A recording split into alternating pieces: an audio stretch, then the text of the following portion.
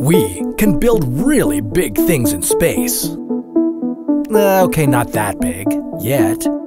But we've packed the Earth's lower orbit with about 5,000 satellites, some still functioning and some not. What if we could build a bigger, brighter satellite and put it into Earth's lower orbit? Something that would reflect so much sunlight that we'd never have to turn our lights on again. I'm talking about an artificial moon. How big could we possibly make it? And why would it be a bad idea to proceed with this space construction project? This is What If. And here's what would happen if we created an artificial moon. The largest satellite we've put into lower orbit, the International Space Station, is as long as a football field. We assembled it in pieces in several launches, and now it's revolving around the Earth, some 400 kilometers above us.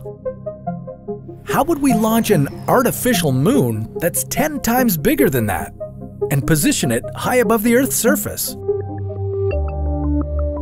Most of the Earth's satellites in low orbit are operating just above the ISS. Some of them are parked in geostationary orbit about 35,000 kilometers above the Earth's equator. The real moon revolves around us from a distance of 380,000 kilometers away. But we don't need to put our artificial moon that far away. We'd place it somewhere between the Earth and the ISS. That's a good spot right there.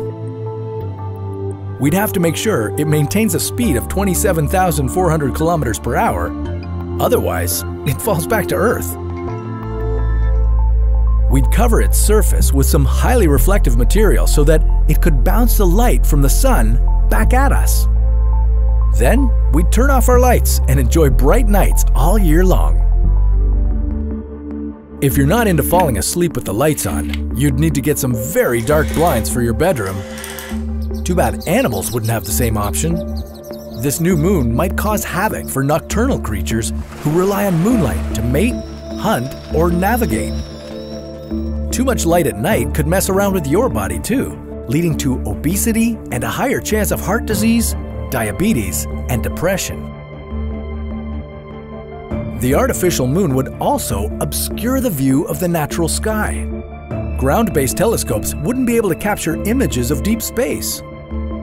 It could result in us giving up on our dreams to go to distant stars, imprisoning us on Earth forever. So think about it. Do we really want this second moon? Well, wait for it.